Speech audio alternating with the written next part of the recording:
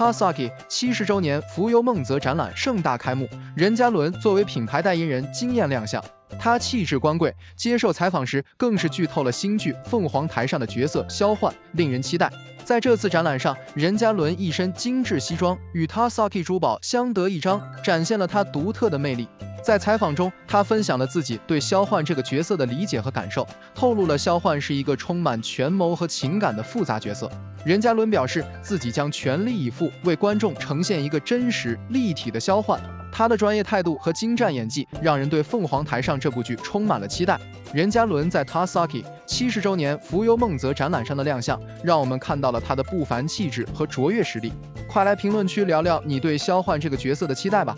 让我们一起期待《凤凰台上》的播出。大家好，我是任嘉伦。嘉伦你好，然后我们也知道你的新戏刚刚杀青嘛，《凤凰台上》，您跟大家怎么去介绍一下你这部戏呢？你觉得有什么特点？萧焕是一个皇帝，孤身一人，无论是在爱情还是在各个方面，所以他是一个心中时刻。